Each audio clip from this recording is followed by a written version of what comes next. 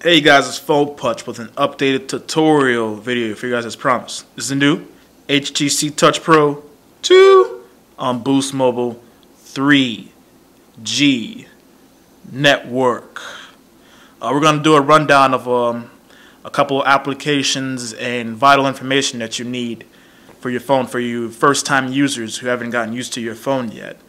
Um, as this right here, as you can see the very two differences in the phone. This is the Manila 6.5 energy ROM to the right and to the left is the 6.5 energy uh, max sense UI ROM. Um, the difference between the two, let's find out.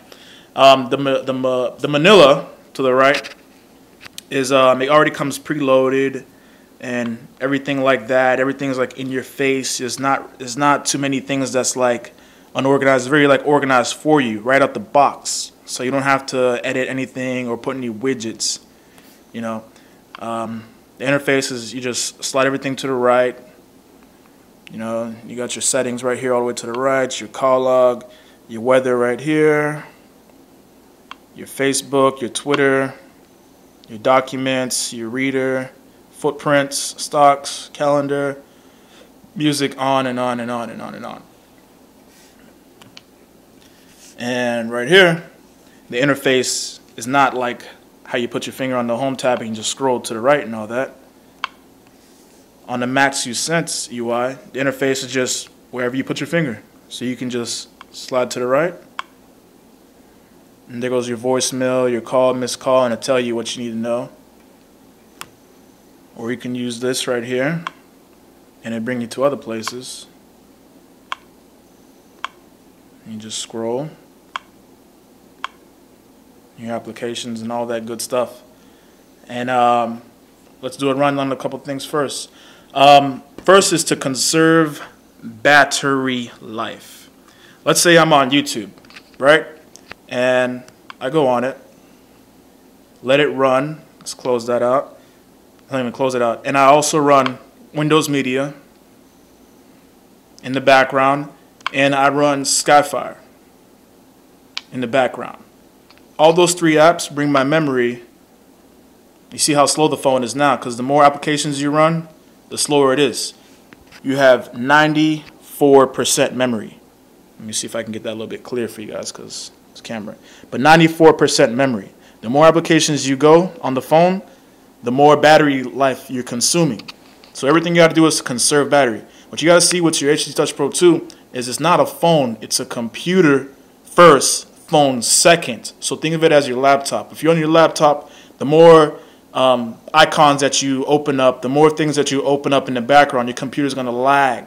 And with this lag, it's going to eat up more battery life, exactly like this is. So if you want to conserve your battery, you could either click on these X's, or the easy way, how the Energy 6.5 ROM is, is to hold the, uh, the call key. So when you hold the call key, it's going to tell you what's open.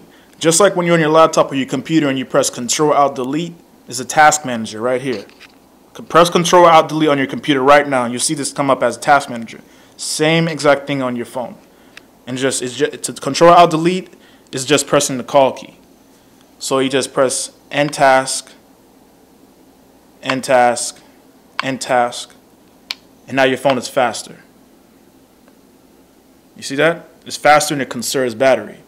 But that's not even the number one thing to control to conserve battery. Your number one thing to conserve battery is um, your battery settings. The brighter your screen, the more battery you're using. So what you want to do is go on your menu and your settings, and once you're from your settings to your systems. So let me show you that right quick. So let's go on here. It's the same exact thing right here. You can press your menu and all that. But you can do it through here also. So you can press your start key. Once you press your start, you see settings. Press your settings, your system, and you see your power. It says right there. Click on your power, and it says backlight, battery and backlight information. See, mine's is set at 60.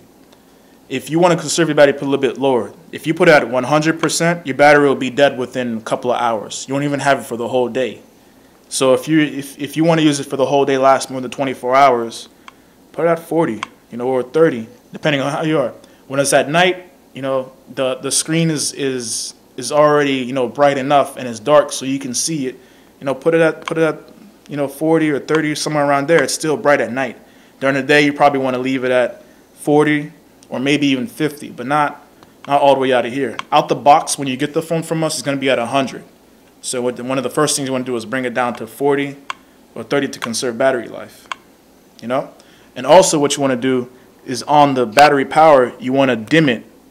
Every 30 seconds that you're not using the phone, it automatically dims to conserve battery life. The phone does everything it can to conserve battery life. And turn the, the device off if it's not using for a minute. It won't exactly turn it off, but it'll turn the screen black in the, in the background, everything running in the background. And that's it to, to conserve battery life right there. That's one of the most vital things. Um, there's also a rundown of applications, putting in applications. I already, already put that in. So it's um, your memory card is in. You already have the memory card in the phone. You can get your memory card from anywhere from Walgreens to Walmart to Target to Radio Shack. It's an SD SD uh, memory card. You press your, your start.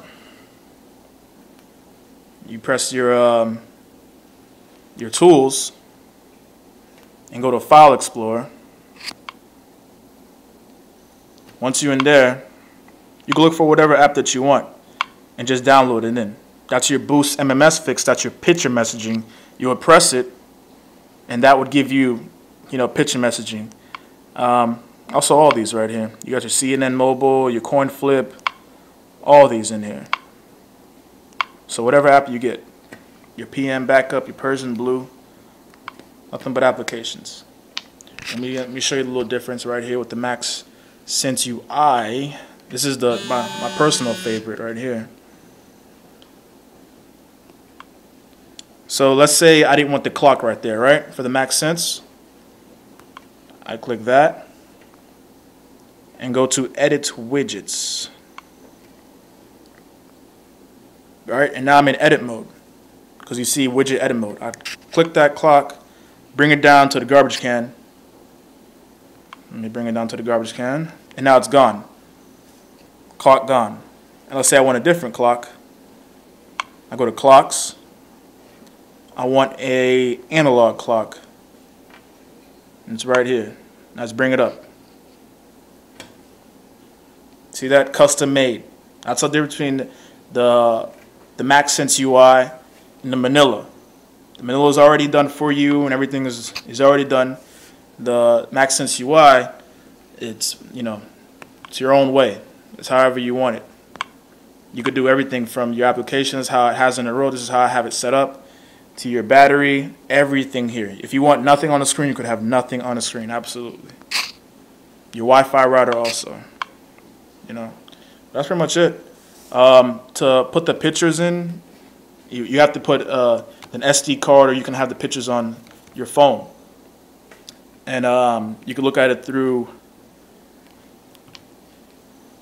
your album. So you go to multimedia right here and go to your album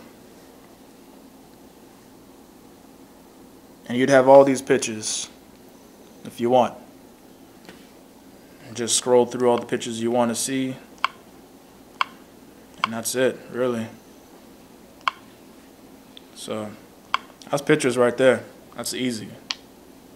And music also you download music into it just just like your iPod or whatever you just drag and drop you put it into your computer just like how you do applications turn Windows Media and you see the library.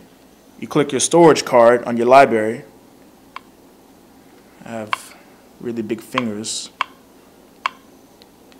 Press your music, go to your artist, whatever song you want, and just play it. You know? And that's your music right there. Put your headphones and call it a day. You